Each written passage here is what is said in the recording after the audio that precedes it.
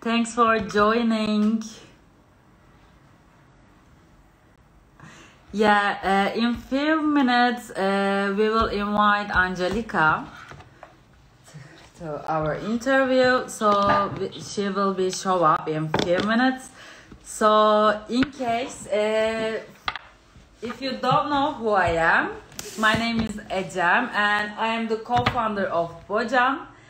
Actually, I'm my name is Ecem and okay, I think I'm back. Sorry.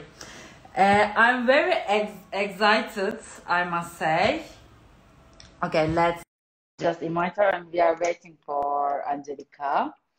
Yes. Uh, in case you don't know who I am, ah, hi Angelica. Hi, How are you? I'm good, thank you. Thank you for having me. Yeah, it's such a great honor to have you here with us today. Uh, we are going to wait for some more people to join in. Then probably we will give it a few minutes. Then we will start. Sounds So good. yeah, how is life treating you, and how have you been up to since the last lockdown started? You know, it's been too long. It's okay. I feel like I've completely lost a sense of when this all began. It's just everything stretches into one long month, doesn't it? But it's okay. I think I found quite a lot of comfort in work during this lockdown. And I think it's, if I didn't love the work I do, I would have found it a lot harder. So I found like safety and security in doing the work and it helps me just during the day just to focus on other things. I think the relaxation time is what's hardest about lockdown. The time when you want to go see your friends and go out for dinner and that's what's challenging. But day Yeah. Been okay. I have a little puppy at home, so he's um, kept me very busy. Yes, I Very- saw your um, story in this morning. You went for a walk with Yeah. uh, your dog. It was so cute, by the way. Yeah. He keeps me Yeah. very. Yeah. At least we have parks and we have opportunity to go for walking, running. So yeah, we are lucky. Yeah. yeah. So uh, I think we can start, right? Yeah. I think. Okay. yeah, so let's go. Yeah. And okay, thanks everyone for joining us today. My name is Ecem and I am the co-founder of luxury sleepwear brand Bocan.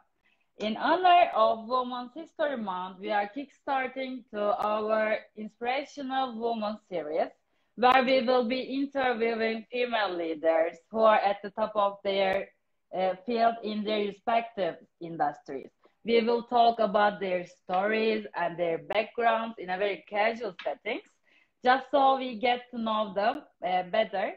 Uh, today, I'm very excited to introduce businesswoman and best-selling author Angelica Malin. And when I read uh, about her story, I was so amazed by how versatile and talented she is. Uh, that's why we wanted you to meet with her. And Angelica is the founder and editor in chief for one of London's top lifestyle magazines, About Time magazine, while also being a business, social media, and PR consultant, helping to empower ambitious career women everywhere. Thank you very much, Angelica, for joining us today. Thank you. Uh, it's really a great pleasure for us to have you here.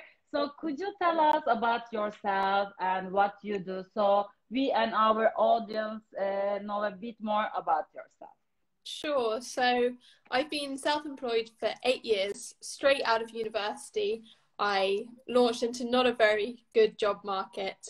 There was nothing really going at the time, and I think I thought to myself, I'll give entrepreneurship a go. I'll try starting my own thing without much of a plan. Um, not really a business plan, just a, a feeling that I wanted to create something around London that was about how to spend your time and what to do, but in a really fun, kind of like a friend in the know. So that was the idea, and I launched that in March 2014. And I've done that for seven, eight years, but at the same time, throughout my career, done different things like writing a book, which came out in January, and hosting female empowerment festivals. But I think in what I do in digital media, having an open mind that it all moves so quickly so you can change you can launch new things you can try new projects and kind of having an open mind to always be curious and trying new things. Yeah. Uh, you started this journey very early, and it's obvious. I mean, uh, uh, actually, our story is similar, so I totally understand because you wanted to create your own journey and you made it. So, yes. Uh, moving to the next question, then, uh, what is it like being a successful businesswoman in your field? So it's interesting because I I think success is a funny thing because I think success is very personal. Um, what might feel like success to one woman won't be the definition of success to another. And for me, success was not about making a certain amount of money or having a certain amount of readers, but it was actually about freedom and flexibility that I could work wherever I liked. I could take my laptop and I could go to another country and I could have the freedom to look after my own schedule and be kind to myself as well to be able to take a day off if I needed to or spend time with my family. So that's like success on my terms. And I think something I write about in the book is that getting your own definition of success really helps you because then you're not comparing yourself to someone else or striving for things that don't actually matter to you. So the measure for me is how much freedom I feel and how excited I am for the day ahead of me. Um, but in my field in particular, it's not particularly male dominated. There's quite a lot of female journalists and women in media. Um, but I think it's doing it at a young age was quite intimidating because people didn't necessarily take me seriously. And there has been an element of proving yourself along the way. Yeah, yeah, I totally understand because when I also started uh, my own business, my own brand, I was so young and I don't know. It was really challenging thing for me, and I need to rediscover how to uh, get in touch with people once again because there are many people who are older, who were older than me. But at the end of the day, you you you just find your own style. Actually, there is no any uh, definition and you learn to be resilient so when someone says yeah. no or they say you can't do that instead of letting that kind of you know take away your confidence you use that as okay i'm going to prove them. I, I need to get back up and i try again and i prove them wrong. And i think having that kind of thick skin uh, makes you resilient at a young age. Yeah really. And you can find the balance between resilient but also be kind at the same time. Mm. so actually yeah it's a kind of, you know, good luck to uh, be able to just uh, start a business life uh, in this age. So, yeah. And also, I would like to talk about your mm-hmm. book. I'm already uh, reading it and I'm halfway through it because really I enjoy all uh, the experience of uh, the other entrepreneur ladies and the workbook section. It definitely uh, may, makes me re-evaluate myself actually. Uh, and there are lots of striking similarities between your book and my own journey i have made until now. So i highly recommend uh, everyone uh, to read it to be able to see the entrepreneurship uh, through your eyes actually so your book, she made it, is the go-to guide for ambitious career women. Mm-hmm. What do you think are the biggest challenges facing women who want to launch and run their own business? So, through the process of writing the book, I interviewed around 100 female entrepreneurs, many of which their case studies are in the book, um, but some which aren't. And I think the main few things that I realized through that research was um, self confidence is a huge issue with women. Um, a lot of the women I spoke to who wanted to start businesses felt like they had to be totally ready before jumping in. They had to have all the experience or they had to have the, the business plan or the finances. And there was this hesitation to just kind of give it a go. And I think it links to failure that there's a pressure women put on themselves about being scared to fail and having a kind of attitude that if something doesn't work out, it's not your fault, and to kind of get back up and to try a different approach. So, failure is a big thing that stops female entrepreneurs from even launching or continuing with a project. And then the other main issues were around investment. So there's a huge investment gap for trying to raise finance. So how can we create spaces where women get more access to education around how to raise investment they get more spaces to pitch and to actually raise the capital so a very small amount of female only founded businesses actually raise venture capital funding in the UK so there's lots of gaps in the kind of technologies created because you know femtech is huge, but that's not getting the investment it needs. So money is a big issue. It's not just around confidence and mindset. It's also the practical elements of how can women feel more supported to start their own businesses. Yeah, it's really, especially as you said, femtech businesses are really, I mean, uh, in my opinion, we need to for women actually we need to set the common goals especially for this kind of investment issues and we need to improve this sense of togetherness and you know women will help women so i think yes it will be i think it's also know. lifting some of the stigma and taboo about talking about these topics like traditionally women don't talk about money as openly and that leads to huge problems because they they have questions that aren't answered they don't know who to speak to. And i've even seen it like in my friendship group my male friends will talk quite openly about money in front of each other in a way that women sort of don't. And i think even you know it's a business problem but it's also just a social problem that how can we give women more confidence to talk about businesses about salaries about investments so that it isn't this big like stigma um, conversation that they're not having? Yeah yeah i totally agree with you. We will be able to be mm, more open to talk about this kind of uh, especially money money issues actually. Yeah. Yeah. And so do you have any role models or mentors you look up to? Um, I, ha- I have a few, but my main one I'd actually say is my mum's a portrait painter. Um, she has been her her whole life. She went to art school in London and she went to be a portrait painter. So she's she's amazing. She's painted lots of celebrities and um, and like well known dignitaries. But I think what inspires me about her is I had this female role model growing up who didn't have a traditional career, never worked in an office, always followed her creativity and passion. And I think her approach gave me the confidence that I didn't need to go get a job and I could just try being a writer and explore that. And I think I feel very lucky that that was the environment I grew up in. I speak to a lot of women now who are in a corporate job that they're not happy with. Mm. And when I question them and I consult with them and I say, why are you in this? Often it's that their parents wanted them to do it. They did it, you know, they did it in a, they, they followed a career path that they were told to do. And that can just lead to a lot of problems. So I feel very grateful that I had family that encouraged a kind of entrepreneurial route.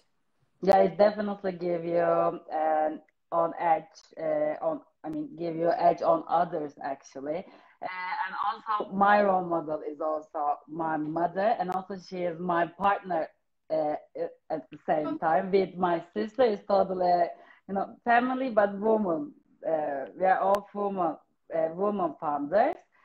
And uh, also i mean raising by very powerful and resilient and very dedicated woman really um, change your life. And feeling that support you can do anything you want uh, uh, in good intentions actually. Yeah. And also i i saw your mother's portrait uh, and i told my sister that okay melike uh, the first thing we are gonna do after lockdown is finished we need to go uh, to national portrait gallery and we need to check this out because yeah. because they're really uh, you know modern and she has a style so obvious. yeah.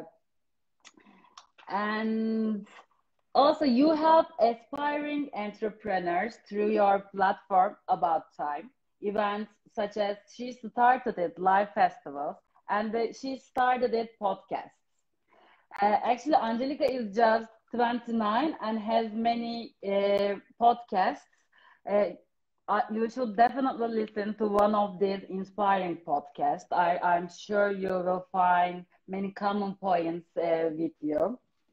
And so, uh, how important how important is female representation to you? I think it's really important, but we're very lucky now that there are so many movements and spaces and communities for women to go to and support each other.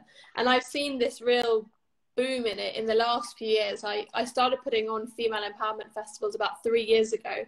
And at the time when I was doing them, it wasn't a big conversation, this whole conversation around women in business and female empowerment. And I've seen really in the last three, four years, it just absolutely take off, and which I think is amazing.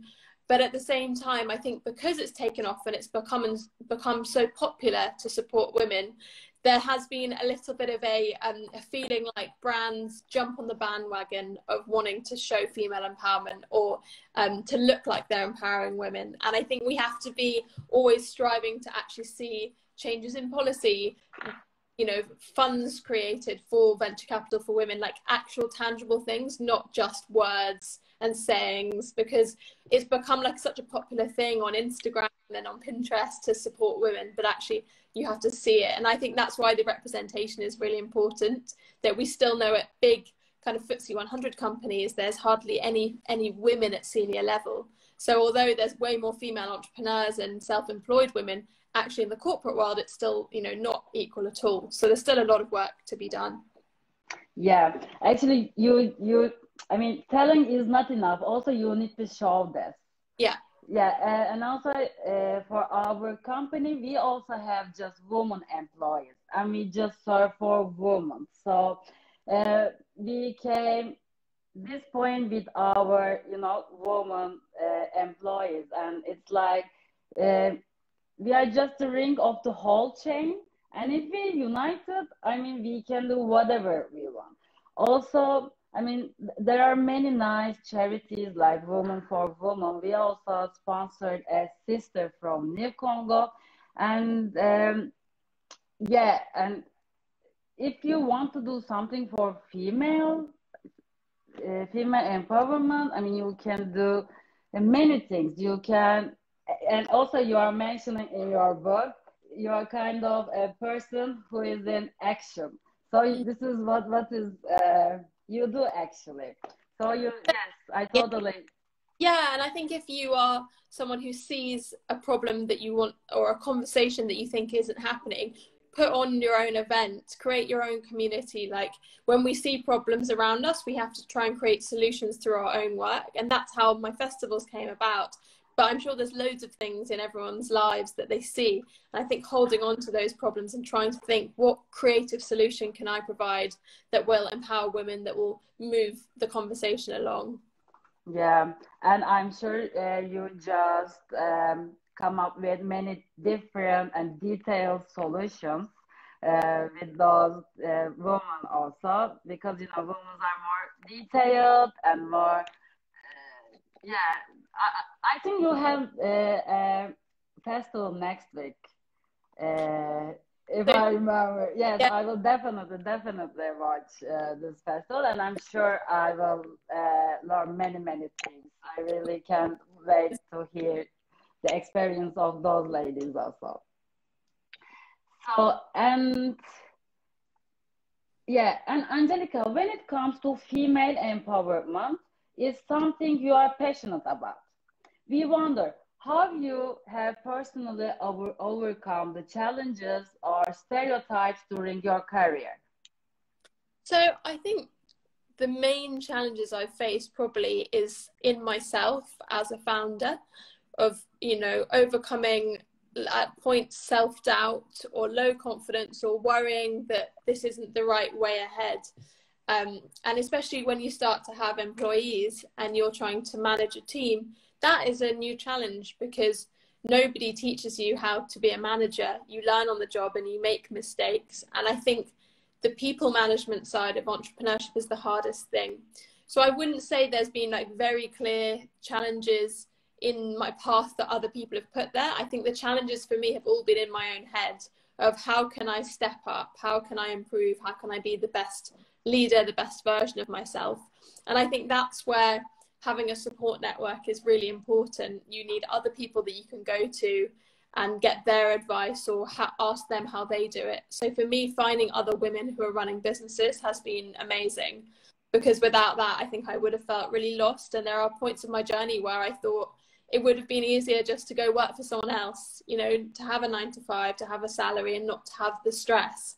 But of course, you have the stress, but you also have the excitement and the fulfillment of working for yourself. So it's it's the price you pay, I think. But those are the challenges. It's kind of in myself to grow.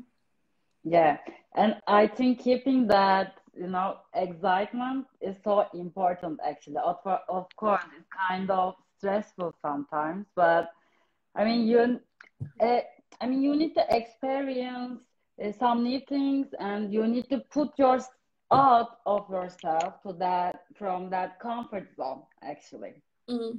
I mean, you need to encounter more challenges, more obstacles, maybe, but this is what uh, make you move forward. Totally.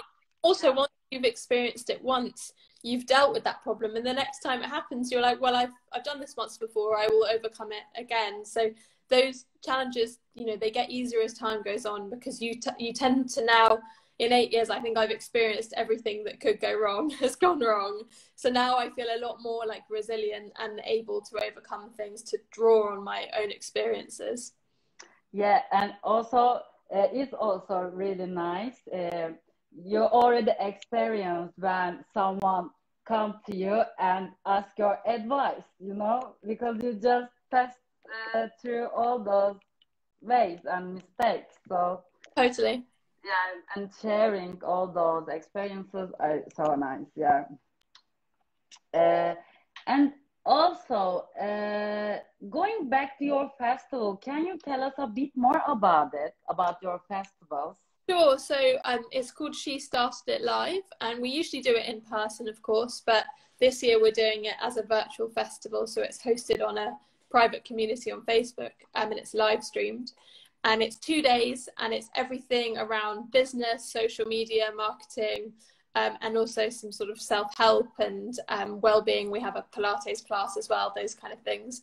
And it's a festival for women who are entrepreneurs or self-employed or they're thinking about it and they just want to get some advice. And we have speakers all throughout the day and panel talks and keynotes.